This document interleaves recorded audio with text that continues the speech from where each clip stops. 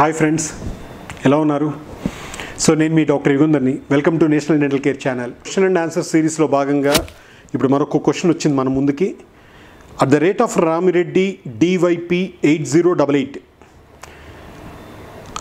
hi I getting dry mouth while sleeping in midnight not getting everyday monthly once okay Ramireddy garu first of all dry mouth అనేది మీ వయసు ఎంత అని mention చేయలేదు. Dry mouth అనేది రకరకాల కారణాల వల్ల వస్తుంది. ఫస్ట్ కారణం ఏంటంటే వాటర్ సరిగ్గా తాగకపోతే సో పర్టికులర్ వాటర్ మనం డైలీ ఒక కనీసం ఒక వాళ్ళ బరువు వాళ్ళ వయసు బట్టి మూడు నుంచి ఐదు లీటర్ల వాటర్ కనీసం తాగాలి. ఆ తాగకపోతే డ్రై మౌత్ అనేది ఒకటి వస్తుంది. అదొక ఫస్ట్ పాయింట్ లేదా కొన్ని రకాల మెడిసిన్స్ వాడినప్పుడు కూడా డ్రై మౌత్ వస్తుంది. కొన్ని రకాల ట్రీట్మెంట్స్ తీసుకున్నప్పుడు ఈ క్యాన్సర్ ట్రీట్మెంట్స్ ఇలాంటివి తీసుకున్నప్పుడు కూడా వస్తుంది. కానీ మీరు మంత్లీ వన్స్ అని అన్నారు ఎప్పుడు అన్నారు అది నైట్ టైం అని అన్నారు.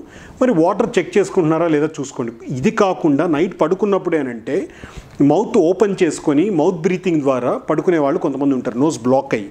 సో మీకు ఆ టైంలో నోస్ బ్లాక్ అయిందా లేదా గమనించండి.